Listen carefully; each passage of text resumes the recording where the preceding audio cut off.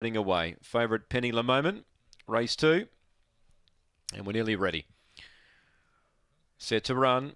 Yeah, second race here. Penny La Moment, the well-back favourite, number two, specking for the six Cryers Jed. And the lure is set on its trip here. Race two. Here it comes. Ready.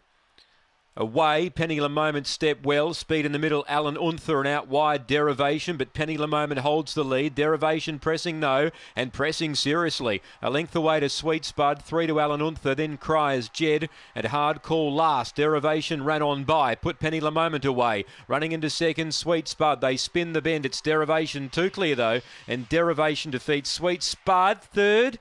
Maybe Penny Moment, but Cryers Jed's made a real leap on the outside to get close. Alan Unther second last and hard call back to the rear. The time here around 23.30. And it'll be number seven derivation, $11.80 for Nicole Stanley. Was able to clear them on the home corner and race away. Sweet Spud doing its best work late, so Nicole Stanley gets the Quinella. Seven wins, eight will be second, and third's a photo resting between two and six. 23 27 the run. Now six on the outside does arrive in time for third, cries Jed. Just ahead of Penny La Moment, number two, who had the lead, but uh, yeah, probably.